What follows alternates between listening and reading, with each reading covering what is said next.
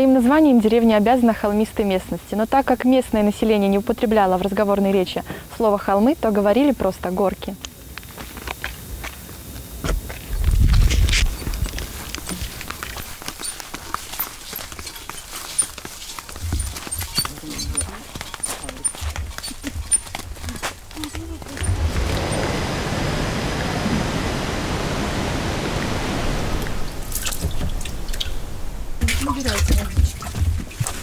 Варечка, иди сюда, бетончик подставляй тебе. надо.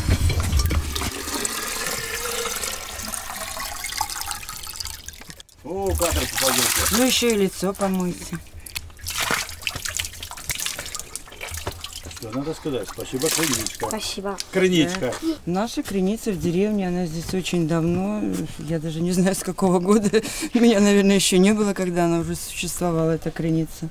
Ну, приезжали, брали анализы, признали, что эта вода очень полезная.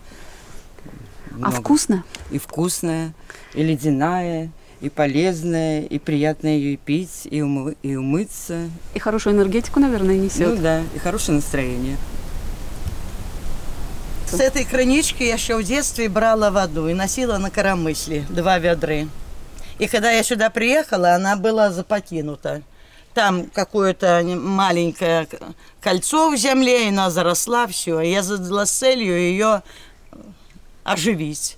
Вот мы ее оживили. Вода здесь целебная. Ну, одна у нас проблема была, в прошлом году засуха была, и что-то э, вот э, вода как-то у крынички опустилась. Да? Иосифовна, здесь вообще, наверное, святое место какое-то. Почему вы так думаете? Почему святое? Чтобы святое, ну, наверное, так Бог дал, что по, Да. по всему ручаю тут а, ключи бьют. Вот они, вот аж речка течет, это ключевая Это вода. ключи. Ключи. С ключей, вот так. И вы знаете, с этой воды вот ноги вынимаешь, они прямо горячие. Они прямо такую температуру дают. Э, не холод, а тепло дает эта вода. Ну, горки... Ну, наверное, пан Оболенский жил. Ну, не зря здесь кня... не, месте. не пан князя Боленский здесь раньше да, в лесу князь жил. Даже лес наш называется Панский.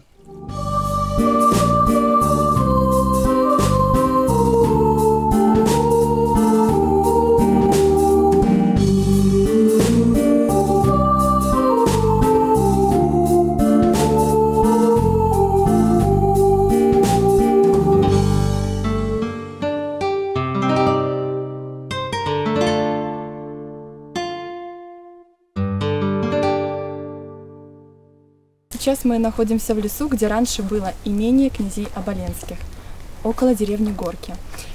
Здесь вот раньше находился винный погреб. Сейчас мы пройдем далее и посмотрим, что осталось от фамильного скрепа князей Оболенских.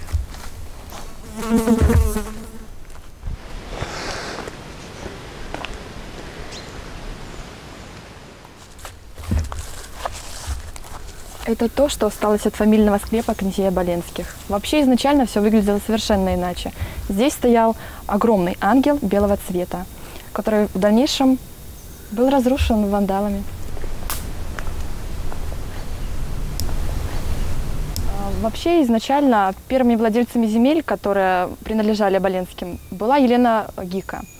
Ее муж, э, правитель Валахии, Молдавии, был обезглавлен, и Елена Гика вынуждена была со своей семьей и с дочерьми э, эмигрировать э, в Россию. Она просила убежище у Екатерины II, и взамен на правление Молдавии Екатерина II даровала ей земли от Черекова до Пропойска, это современный Славгород. Одна из этих деревень как раз деревня Горки, в которой и находилось имение князей Оболенских. К сожалению, в 1918 году на имение напали, княгиню убили, э, и сейчас покажу вам, какая она была красавица у нас княгиня.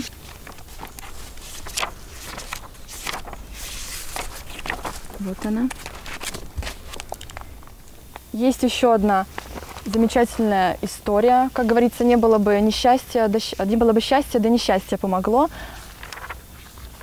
Сын, в момент тогда, когда на имение напали э, Елены Константиновны княгини, Михаил, отправился в Череков лечить зубы.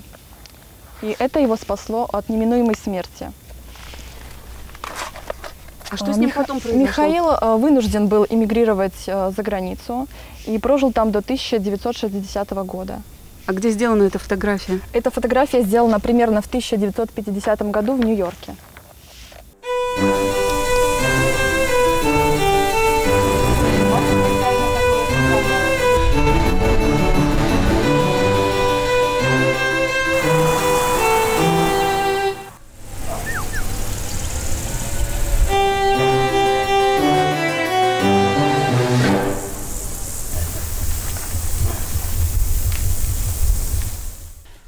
Скажите, хорошая деревня Горки? Конечно, хорошая. А что в и ней такого? красивая, И красивая, и хорошая.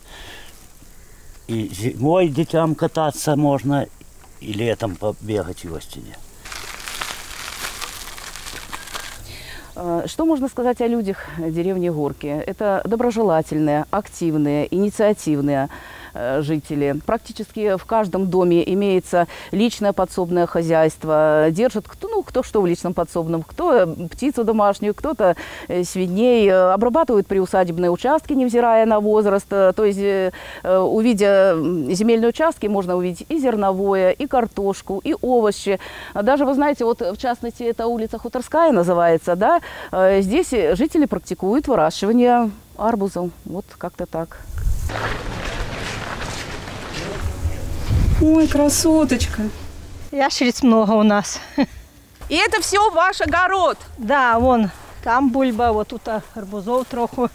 Ну, тут вово, які лежить. Ну, там он троху ще есть, вон там. Ну, люди садят, хвалятся, что большие растут. Ну, да и я попробую. Ну, ну это я уже который год сажу. Ну, год на год не получается, но растут. Растут. И Ну, что, это ж- красное, вкусное? О, какие. Больше и меньше Дайте есть. хоть рассмотреть какой-нибудь. Что-то Ну вот, не вот вижу. он, вот он лежит.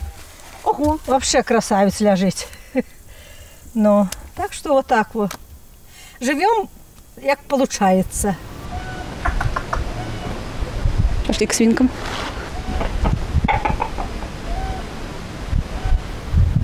Ходите прощати, его телевизор почить.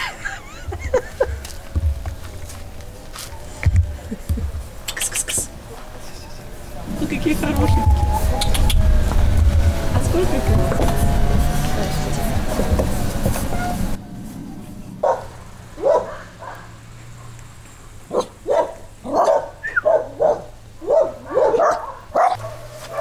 Вот, пожалуйста, ужин.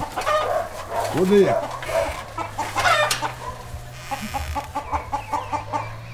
Ну, люди, як у нас на хуторі, так це як одна сім'я. У этого хуторі це наш. Да. А надо картошку копать. Не надо звать. Только сын трактор имеет, вона, да, копалку. Только завелся все с корзинами и на поле. С корзинами и на поле. О. Вот такое дело. О. У меня 83 год. Да, ну я ще трохи шевелюся. Вот. То то я, то то я, что я говорится.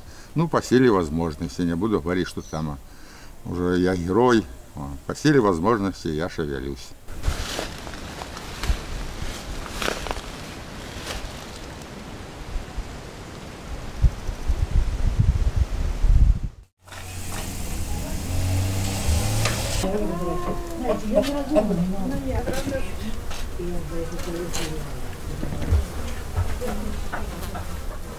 Моя мама вышивала, детей много было, в колхоз ходили. А когда по пятницах вышивали, а по таких днях вечерами пряли и ткали. Вот. Ну и сейчас, сейчас на пенсии, зимой чем заниматься. Вот так помаленьку сижу. Вечер большой и вышиваю.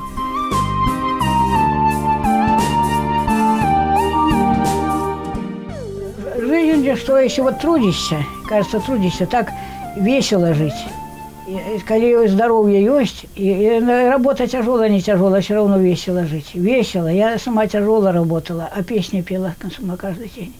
Ой, какая у вас яблоня. Кажется, так сел бы и посидел бы. Да. Видно лесу половина, там Романова долина, видно леса половина, там Романова долина.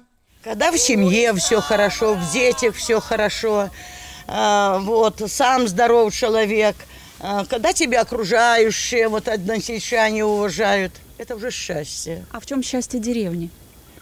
А деревня то, что ее населяют хорошие люди.